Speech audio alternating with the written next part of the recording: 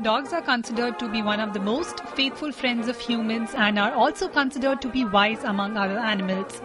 A unique show that exhibited the special traits of these friends excited everyone gathered at the occasion of National Security Guard's 29th Foundation Day at Manesar in Gurgaon. These stunts were performed by trained dogs that are capable not only of performing routine activities but also specialized in responding to multiple challenges.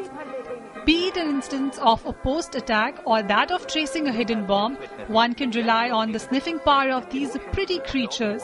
The sniffing or smelling power of these dogs are so strong and dependable that even the minutest evidence do not go untraced.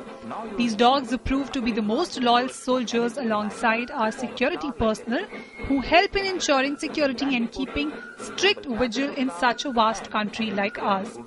Bureau Report, DD News.